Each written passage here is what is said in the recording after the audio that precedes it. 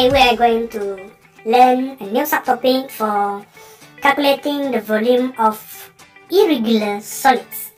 Okay, in the previous lesson we have um, calculated the um, volume of a liquid okay, by using a measuring tools. Okay, now we are going to calculating the volume of irregular solids. Okay, in Malay, Okay, mengira isi padu untuk bentuk yang tidak seragam. Okay, pekerja yang berbentuk tidak seragam. Okay, next. This is an irregular solid. Okay, a stone.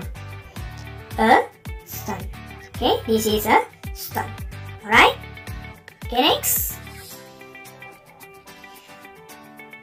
My question is, how do you estimate the volume of this irregular solid, like stone? Right, so we can use two methods. The first one is a water replacement method. Okay, water replacement method. Okay, so this method is shown as like this. Okay, we are going to using a measuring cylinder. Okay, um, to get the volume of this irregular solid okay? So this is the overalls of this method okay? The volume of the water displaced is equal to the volume of object okay? Volume of object. So how to get the water displaced from the rock for example? Okay very easy. Take a look on these two pictures Okay, first of all, okay, we fill in the measuring cylinders with water. Okay, with water. Okay, until a certain level. Okay, no need to full. Okay, we just fill in until maybe 80 to 90 like that. Okay, or 100. Okay, next we get the initial readings. Okay, initial readings here is 100. Okay, bacaan awalnya adalah 100 ml. Okay.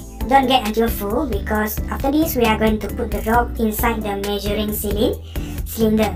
Okay, so this will be the initial reading. Okay, initial reading in Malay is bacaan awal. Okay, bacaan awalnya adalah 100 ml. Okay, next. Okay, so after that we are going to put the rocks okay into okay into the measuring cylinder. Okay? Put it into the measuring cylinder. Okay? After we fill it okay we get the final reading. Okay? Get the final reading. In Malay final reading adalah bacaan akhir. Okay? Bacaan akhir. So we have the initial reading and we have the final reading okay so here we can see here final reading here is 120 milliliter another one is the initial reading is 100 milliliter so how about the volume of a rock? Okay very easy. Okay i consider the initial reading as 1 and final reading as 2 okay so now in order to get the volume of the stone is 2 minus 1. Okay, the final reading minus with the initial reading. Okay, the final reading just now we get is around 120 milliliter. And the initial reading is 100 milliliter. Alright. So now the volume is 2 minus 1 120 milliliter minus with the 100 milliliter the answer will be 20 milliliters. Okay? Is it clear for this one? Okay, this one is a water displacement method. Okay? So next, the second method of calculate okay uh, the volume of irregular solids is using a Eureka can. Okay, Eureka can, okay, which is shown here in the picture okay it is something like this. Okay Eureka can and of course you have need to have the measuring cylinder alright we'll fill in the water okay into the Eureka can okay until is uh, the levels until almost 75 percent okay okay there's a hook there all right. After that we are going to put the stone into the eureka can okay. Then fill with water.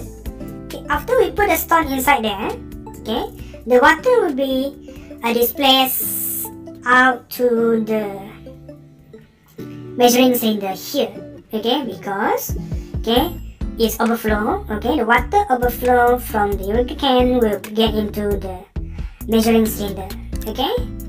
At the same time we can measure the volume of the displaced water okay just now okay in Malay okay explain in Malay apabila kita letakkan batu ke dalam Eureka can ini okay water yang lebih akan terkeluar daripada uh, corong di tepi ini okay, masuk ke dalam measuring ceiling cylinder okay then okay um, we can count the volume of the displaced water okay pada masa ini kita boleh sudah mengukur isi padu air yang dikeluarkan oleh batu tersebut dan pada masa yang sama okay, itu adalah isi padu untuk batu tersebut okay so isi padu okay the volume okay of an displaced water is equals to the the volume of a stone okay of a stone okay so here what is the reading? I think the reading is around 100 milliliter. So the volume of the stone is 100 milli eh, milliliter. Okay milliliter. Okay so conclusion? Okay we can calculate. Okay the volume of an irregular object by using a the first one is the water displacement method and the second one is the Eureka can okay all right okay you can see this one okay this is the first method water displacement method. Okay, and the last one is the Eureka can. Okay. I should I repeat for this one? I don't think so. Okay, you can take a look on these pictures. Alright. Okay, Eureka can. Okay. And make sure that you know how to draw these two apparatus correctly because in exam maybe we have uh, some question for science process skill for this topic. Alright? Thank you. I'll see you again in the next topic. Bye!